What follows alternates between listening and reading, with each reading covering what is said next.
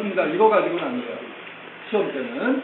네, 조건이 까다로워. 그 다음에 이제 무단이라고 거, 이제 늦잠자는 거,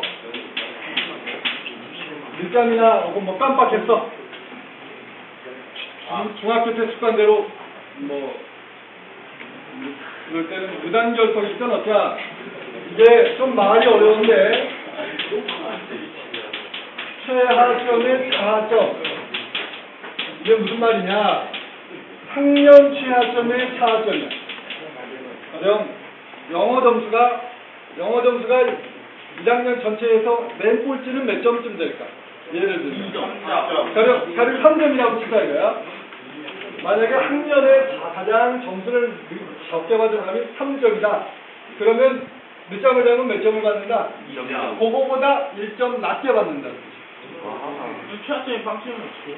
그럼 빵점이면 어떻게 되겠어? 빵점이 100점이요. 최하점이 10점이면 몇 점? 9점. 9점. 철저히 100점. 최하점이 4점이면 3점. 철저히 100점. 철저히 100점. 가공할 점수를 받아요. 가공할 점수. 야, 시험 기간 이내 늦잠 자면 뭐 대학을 어디서 생활한다? 기숙사에서 생활한다. 이렇게 생각하시면 돼요.